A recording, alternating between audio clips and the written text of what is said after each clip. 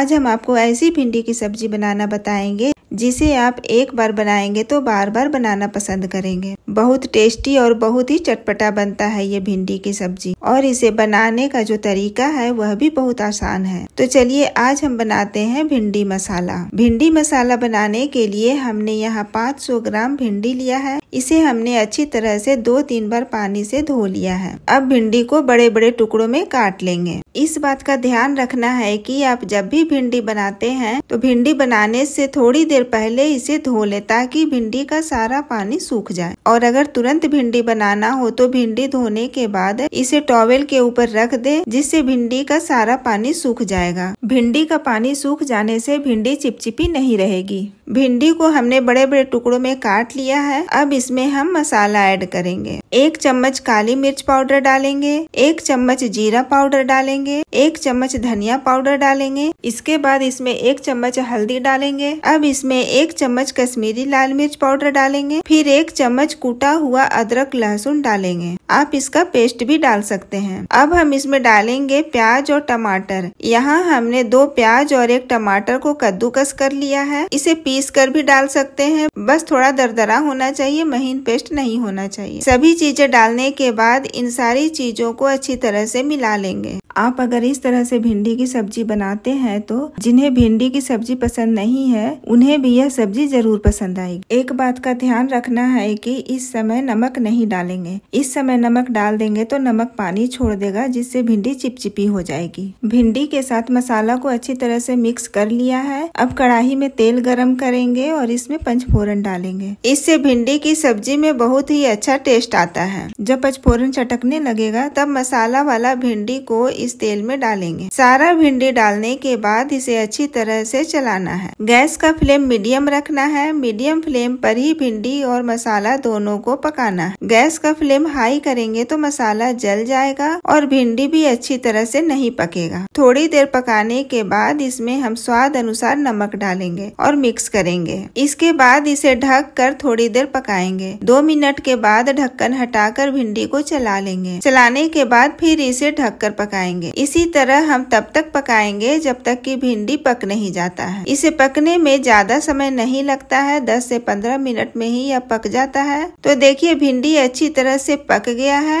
यह सॉफ्ट भी हो गया है और मसाला भी अच्छा से भुन गया है। तो फ्रेंड्स आप भी इस भिंडी की सब्ज़ी को बहुत आसानी से बना सकते हैं। इसे बनाने में समय भी कम लगता है और स्वाद ऐसा कि आप इसे बार बार बनाना पसंद करेंगे। तो फ्रेंड्स मेरा यह बनाया हुआ भिंडी मसाला आपको पसंद आया तो मेरे इस वीडियो को लाइक और कमेंट कीजिए और मेरे चैनल को सब्सक्राइब ज़रूर कीजिए बेल आइकन के साथ ताकि मेरे वीडियो की नोटिफिकेशन सबसे पहले आप तक पहुँच जाऊच सके